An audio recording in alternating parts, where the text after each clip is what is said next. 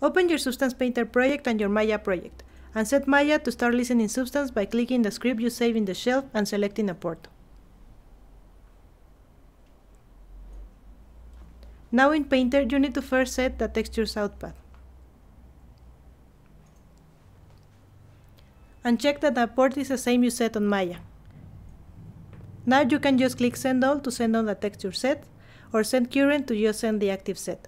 This will create the necessary materials in your Maya project the first time you send them, and will only update the textures after that. That way, if you change some other settings in your Arnold or Redshift material, you won't have to modify them each time you update the textures. Well, that's all for this video. See ya guys! Cheers!